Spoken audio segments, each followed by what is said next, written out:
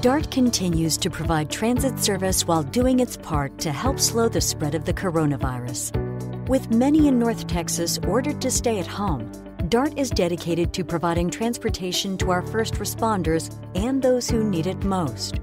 Effective Monday, April 6th, DART began operating a modified weekday schedule until further notice. This situation is rapidly changing, so the best way to stay up to date on service alerts and other DART related news and information is to register for My DART updates.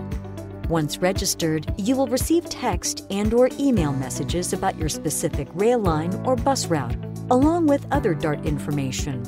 Sign up at dart.org/email.